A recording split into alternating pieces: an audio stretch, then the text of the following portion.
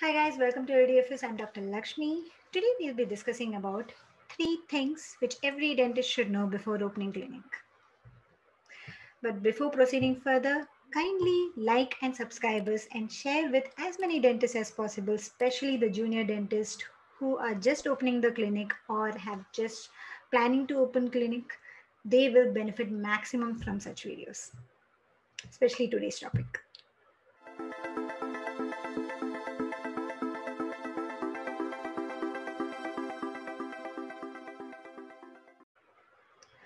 So proceeding with today's video uh, where we will be discussing about three things every dentist should know before opening clinic are rather the three things which I feel that I should have known or I wished I had known before I started my clinic. So there are many things which are there. I'm not saying that these three are the only things, but these three are among the other things which are there. So let's discuss about that today.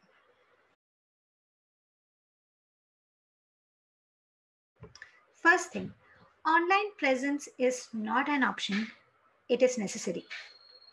So online presence, uh, we usually neglect. We usually neglect anything investment or anything regarding the online stuff. We'll keep it for the last.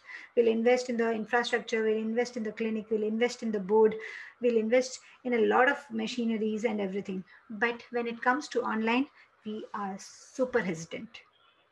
Is it? Everybody is like that usually right? So always think that the online presence is not an option it is necessary because it helps you build the digital board. I'll tell you what it is. Let me explain it further. When you set up your clinic uh, your shop why do you put the physical board? We create or we put the physical board so that any people who are walking on the street or the patients who are searching for dentist or uh, who are coming to the adjacent shops they all see that there is a dental clinic over here. The shop is a dental clinic right? That is what we want. We want people to notice us. We want them to remember us that there's a dental clinic in that lane. So that will help us get more patients get more walk-ins right? Similarly in majority of the cities and towns right now, people are searching for dentists or doctors online. They are searching dentist near me, either or they are searching implant dentist if they want any specific like uh, braces doctors or anything, something. But they are searching about dentist online. And when they are searching about us, if we don't have a digital presence, online presence, that means we don't have a digital board where they can see us, they can find us, right? They won't be able to find us because we don't have a presence at all in the online platform. That is why it is important. And if you are especially in a place where there are a lot of people who are searching online, never miss that opportunity. That will fetch you a lot of patients from starting itself. Even if you don't have any re reviews, it's okay, but that will help you get patients don't think that let me start first in the physical format and later on we'll go move into the online one. Then your success will be definitely delayed by few months. So rather than that start it from the day one. Day one you have created and you have put the board right? On your shop shop. Same scenario is you should have a digital board. You should have an online presence. It's not an option. It is necessary and especially during this time during this corona time it has become all the more important because people are looking online for everything. They are won't physically walk in the street and see okay there's a dental clinic there i'll go there. They won't do it. They'll search they'll find a place they'll go there get the treatment done and come back. So that has the corona has created all the more that this is more important there and than anything else. So always remember online or whatever money you're investing online, for, let it be for anything, always think of it as an investment and think you'll get patients from that. That is why you're investing. Other thing is, there are so many things in online also which we can do which is free like uh, your google map your google my business facebook instagram uh, youtube um, what else I, I, I can remember these things right now there's so many things which are free of cost which you can do it by yourself then why not start with that Start with that first, and later on, keep on investing in the online platform. Don't ever let it stagnate. If you let it be inactive for quite a long time, you will not be able to be visible for the um, the people who are searching for you. It's same as you have to keep on upgrading yourself right? Your clinic and everything the board if it's not looking nice you have to mm, do something maybe change into led or something right? Similarly you have to invest time to be active in the online platform so that your digital board will be active majority time. So that is the first thing which i would um, tell all the dentists that they should know before they start the clinic is online presence is not an option it is necessary.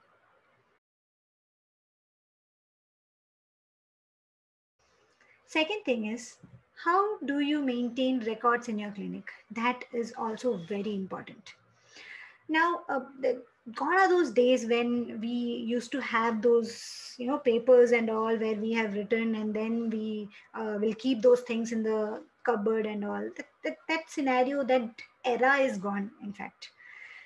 Try to do the record maintenance online. Because if you may feel that okay i'll start with the offline and then slowly shift to the online scenario. But trust me i have done that. It is total waste of time and it takes double the amount of effort to change something. Once the system is set in your clinic it's easy to continue that. But when you are changing that to another system it's very difficult. So start doing the record maintenance online. And another thing about record maintenance is it is very much useful for a lot of scenarios. Like it um, um, it helps you to understand what kind of patients you are having. Like if the patient record data is there then uh, you'll understand that um, the public or the pa- your patients majority are the young crowd. If if it is young crowd then you may have to promote those kind of treatment. Then you have to approach the marketing in such kind of ways.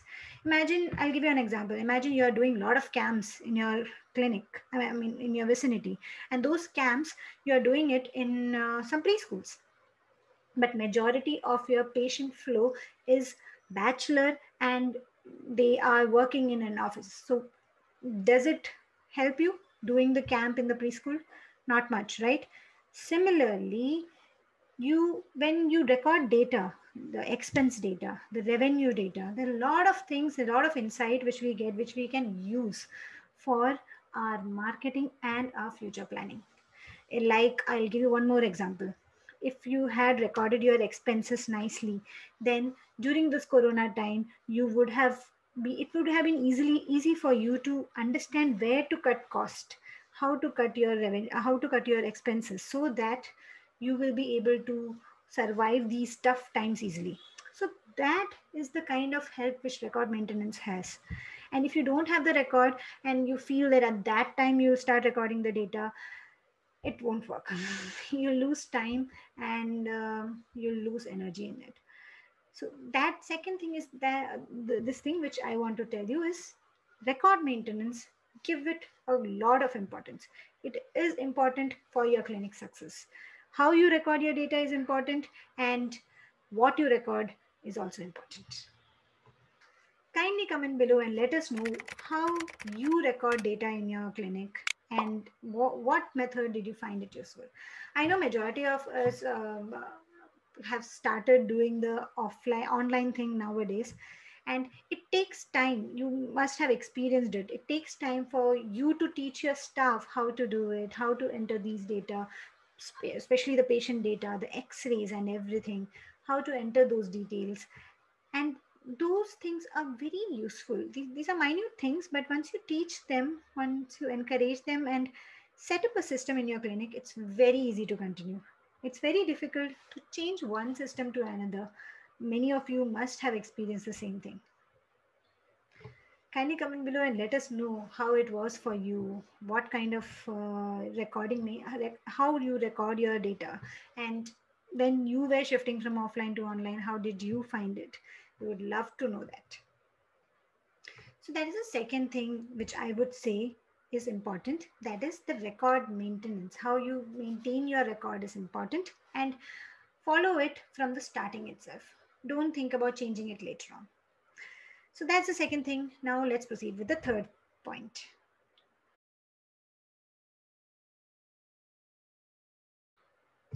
Third thing is never neglect emergency fund. Now we think about so many ways of so many uh, things to invest in our clinic for RVG, maybe microscope, maybe laser, maybe something else. So many fancy, fancy things, right? But how many of you had given thought to the emergency fund creation? We don't think much, right? We will think, okay, we'll do it. Eventually, when we start earning, we'll start saving it. But it doesn't work that way when you if, if you had planned some money maybe imagine you have 5 lakhs and you have set up your clinic in 3 lakh itself. You have 2 lakh of excess and you think about investing in some uh, fancy machineries and all. Rather than that i would say first keep aside your emergency fund and then whatever is left you can go ahead and start investing in your clinic.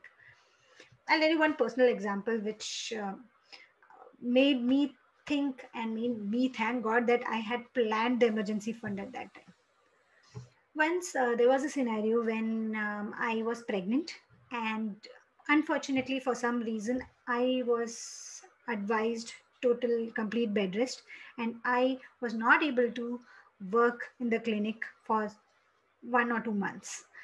And during that time, the dentist whom I have hired she also had some medical emergency and had to take a break of around one or two months. So, unfortunately, both of this medical condition fell, fell on the same day, same time, in fact. So, same for one or two months, there was no doctors available in my clinic. I couldn't do anything. I was totally bed at bed rest. And at that time, also hiring was also difficult because I have to go and meet them before hiring. So everything was gone for a toss. But luckily, with the patient support, definitely they supported me a lot during that time. But also, I had planned this emergency fund. So I know that, okay, the clinic will run, the salaries and the rent, everything is not a problem. Even if for two months I'm taking a break with no patients and no working, no treatments, I will be able to survive. That gave me confidence to survive that period during that bed rest in the pregnancy also. So that okay nothing is to be worried about. I have money so that my clinic expenses are taken care of. If i had that add on uh, you know tension at that time i wouldn't have been able to enjoy my pregnancy also. And also at the same time it would have been tough for me to survive in the clinic. So that is something which i feel um, it's it helped me. And that you should plan beforehand itself emergency fund is very important.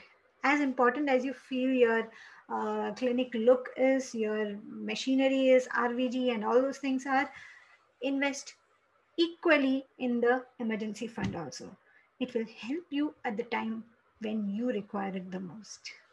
It has helped a lot of people during this corona time.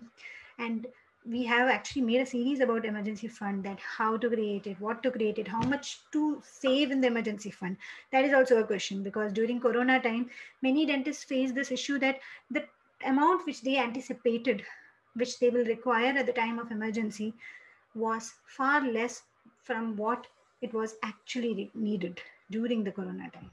So that is also equally important amount you have saved in the emergency fund. So I would really recommend you that from the start itself, when you are keeping aside money and doing all the uh, interiors and everything, keep aside some money for the emergency fund also.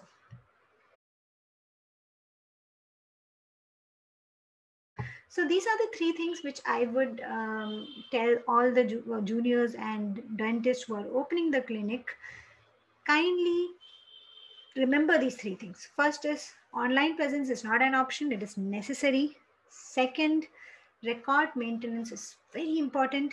Third, never neglect emergency fund. These are the three things. Keep in mind, there are a lot more things to it. I'm not saying these are the only three, things which are there, but always uh, remember these three things at least. I hope you liked today's video. Best of luck for creating your uh, clinic. Thank you so much, guys. Until next time, bye. Don't forget to send us a hi on this number. We'll add you to the special broadcast list. Thank you.